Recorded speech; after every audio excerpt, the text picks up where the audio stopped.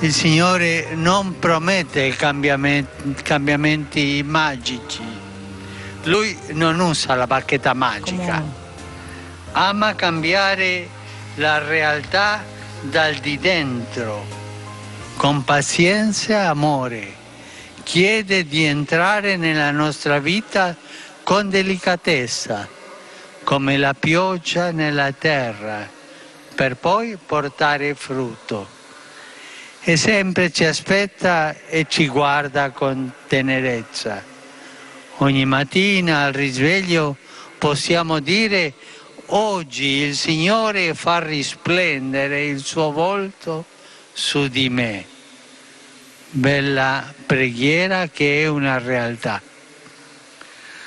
La benedizione biblica continua così.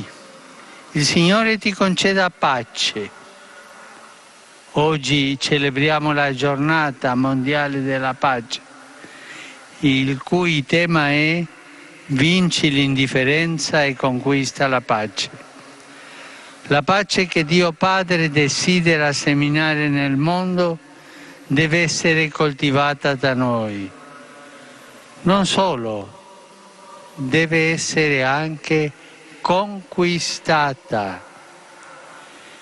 Ciò comporta una vera e propria lotta, un combattimento spirituale che ha luogo nel nostro cuore, perché nemica della pace non è solo la guerra, ma anche l'indifferenza che fa pensare solo a se stessi e crea barriere, sospetti, paure e chiusure.